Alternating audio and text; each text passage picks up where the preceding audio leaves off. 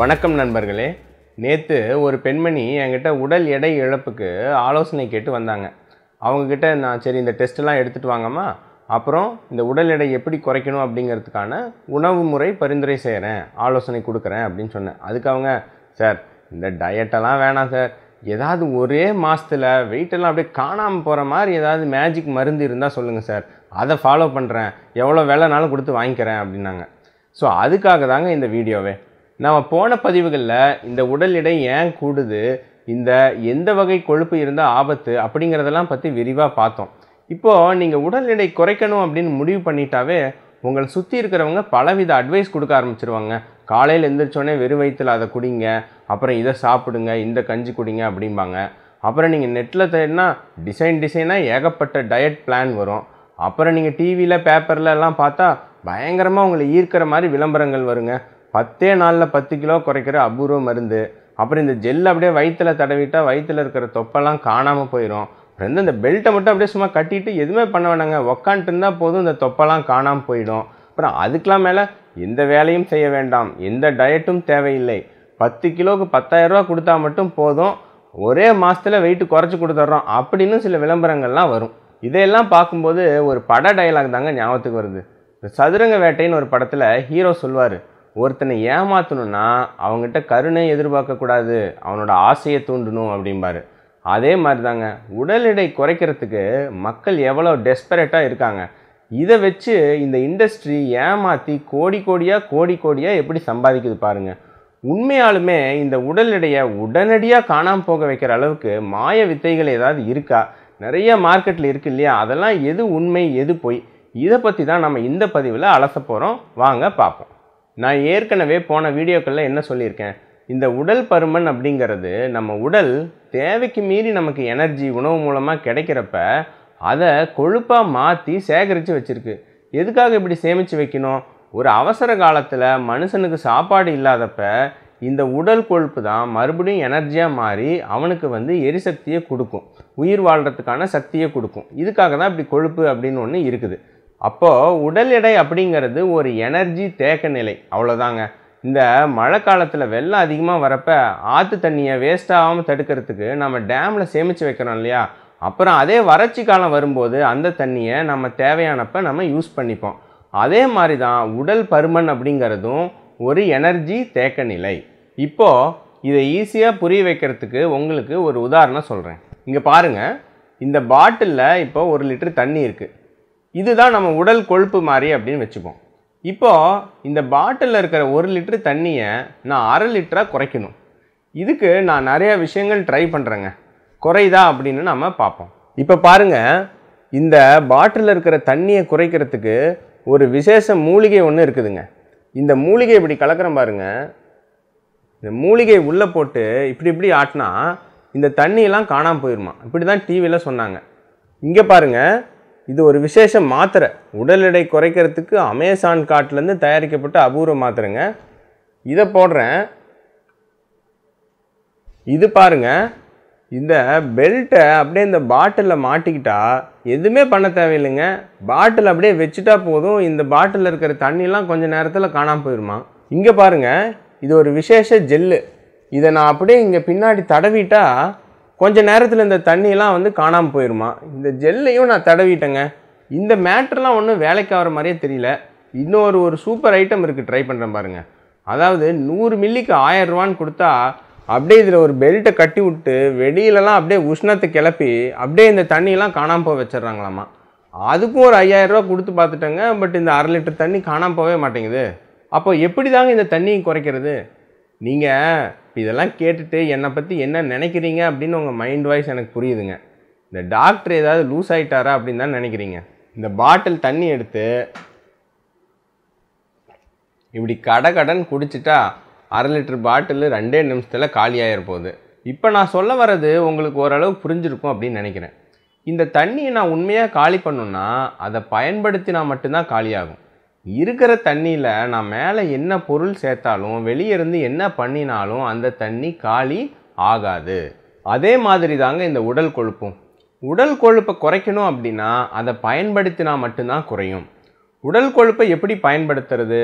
ஒன்றா நீங்கள் தேவைக்கு மீறி அதிக வேலை செஞ்சாலோ உடற்பயிற்சி செஞ்சாலோ இந்த உடல் கொழுப்பு இந்த அதீத உடல் கொழுப்பு எல்லாமே எரிசக்தியாக மாறி கொழுப்பு கரையும்.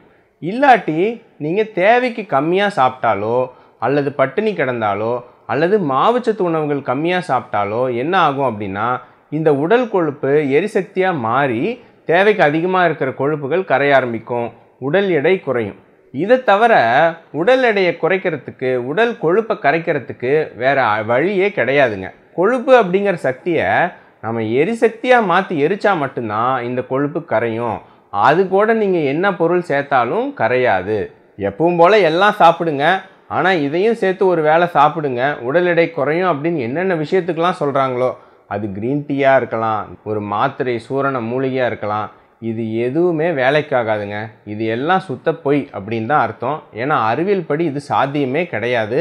ஒருவேளை நீங்கள் எடுக்கிறது பேதி மருந்தாக இருந்தாலோ இல்லை ஜீரணத்தையே தடுத்து வயிற்றில் குளறுபடி பண்ணுற மருந்தாக இருந்தாலோ வேணால் ஒரு ஒன்று ரெண்டு கிலோ குறையலாம். அதுவும் ஒன்றும் பெருசாக வெயிட்டு குறையாது. உங்கள் உடல் ஆரோக்கியம் தான் பயங்கர மோசமாகும். இதே மாதிரி நிறைய பேர் நினைக்கிறது இந்த கொழுப்பு இருக்கிற ஏரியா இந்த தொப்பை அங்கெல்லாம் ஒரு சூடு ஏற்றுற மாதிரி ஒரு பெல்ட் கட்டினாலோ இல்லை ஒரு ஜெல் தடவினாலோ இல்லை பெல்ட்டை போட்டு ஆட விட்டாலோ இந்த கொழுப்பெல்லாம் கரைஞ்சிரும் அப்படின்னு நினைக்கிறாங்க. ஆனால் இதிலலாம் உண்மையாக என்ன நடக்குது தெரியுங்களா? இந்த உஷ்ணத்தால் இந்த கொழுப்பு செல்களில் இருக்கிற நீர்ச்சத்து வந்து காணாமல் போகுதுங்க. டீஹைட்ரேஷன் சொல்லுவோம். அதனால் பார்த்தா ஏதோ ஒரு இன்ச்செல்லாம் குறைஞ்ச மாதிரி உண்மையாகவே தெரியும். உங்களுக்கு வாந்தி பேதி வந்தால் ஒரு நாளைக்கு அஞ்சு கிலோ கூட குறையுங்க. அதெல்லாம் கொழுப்பு காணாமல் போகல. உங்கள் நீர்ச்சத்து குறைஞ்சி போகுது. மறுபடியும் உங்கள் உடல் தேறிட்டா ஒரே நாள் ரெண்டு நாளில் அந்த பழையபடி அஞ்சு கிலோ வந்துடும் இதை தான் நிறையா பேர் கொழுப்பு கரைஞ்சு போச்சு அப்படின்னு நினச்சி தப்பாக ஏமாந்துடுறாங்க. கொழுப்பு ஒரு கிராம் கூட இதெல்லாம் வந்து குறையாது.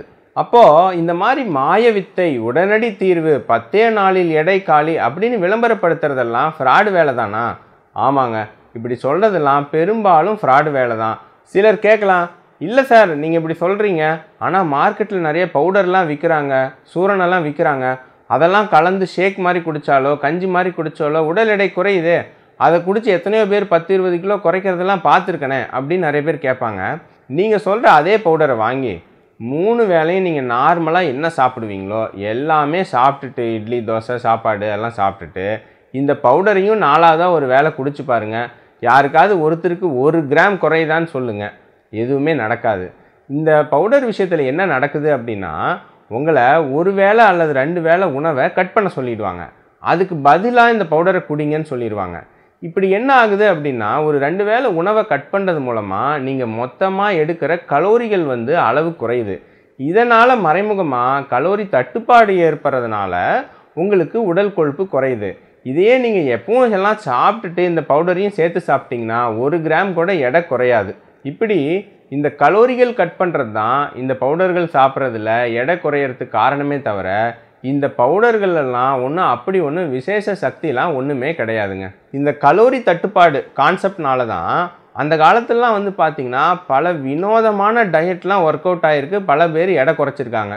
சில சாம்பிள் எடுத்து விட்றேன் பாருங்கள் இங்கிலாந்தில் வில்லியம் த கான்குயரர் அப்படின்னு பத்தாம் நூற்றாண்டில் ஒரு மாபெரும் மன்னர் இருந்தாருங்க. பல போர்லாம் பண்ணியிருக்காரு. அவர் உடல் எடை குறைக்கிறதுக்காக என்ன பண்ணியிருக்காரு அப்படின்னா மூணு வேளை வெறும் சாராயத்தை மட்டும் குடிச்சிருக்காருங்க. மூணு வேளை சாராயத்தை மட்டும் குடித்து உடல் எடையும் சூப்பராக குறைஞ்சிருக்காரு. நீங்கள் உடனே சூப்பர் ஐடியாவே இருக்கே செம ஐடியா கொடுக்குறாரு டாக்டர் அப்படின்னு நினச்சிடாதீங்க. பெரிய பெரிய போர்லெல்லாம் ஜெயித்த மனுஷன் இந்த சாராயத்தை குடிச்சிட்டு குதிரையில் போகும்போது கீழே விழுந்து அடிபட்டு செத்து போயிட்டாருங்க. உலகத்தோட முதல் ட்ரங்க் அண்ட் டிரைவிங் கேஸு அவர் தான் வெறும் வினிகர் மட்டும் கொடுக்குற டயட்டு அப்புறம் வெறும் சூப்பு மட்டும் குடிக்கிற டயட்டு அதெல்லாம் விடுங்க. அட்டைப்புழுவை சாப்பிட்டு எடை குறைக்கிறதுக்கெலாம் கூட மக்கள் ட்ரை பண்ணியிருக்காங்க.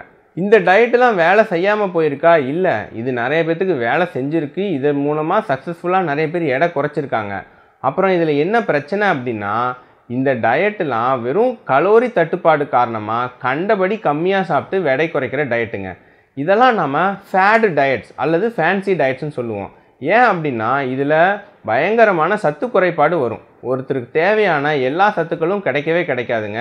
கண்டபடி இப்படி கம்மியாக சாப்பிட்டு உடல் எடை குறையறனால எடை குறைமைய ஒழிய நம்ம உடல் ஆரோக்கியம் அகல பாதாளத்துக்கு போயிருங்க. எனவே இந்த மாய வித்தை வேகமான உடல் எடை குறைப்பு அப்படின்னு என்னென்னலாம் சொல்கிறாங்களோ விளம்பரப்படுத்துகிறாங்களோ ஒன்றா அதெல்லாம் வந்து நயா பைசாக்கு பிரயோஜனம் கொடுக்காத ஏமாத்து வேலை ஃப்ராடு வேலையாக இருக்கிறதுக்கு வாய்ப்பு இருக்குது அப்படியே இல்லாட்டி இந்த மாதிரி உடல் ஆரோக்கியத்துக்கு பங்கம் விளைவிக்கிற இந்த ஃபேடு டயட்ஸ் அல்லது ஃபேன்சி டயட்ஸாக இருக்கிறதுக்கு வாய்ப்பு இருக்குங்க. அப்படின்னா உண்மையான ஆரோக்கியமான உடல் எடை இழப்புக்கு என்ன பண்ணுறது எப்படி இந்த கெட்ட கொழுப்பை நாம் குறைக்கிறது? இதை பற்றி தெரிஞ்சுக்கிறதுக்கு அடுத்த வீடியோக்களை தொடர்ந்து பாருங்கள் இந்த சேனலுக்கு சப்ஸ்கிரைப் பண்ணாதவங்க சப்ஸ்கிரைப் பண்ணுங்கள் தொடர்ந்து பேசுவோம். இணைந்திருங்கள்.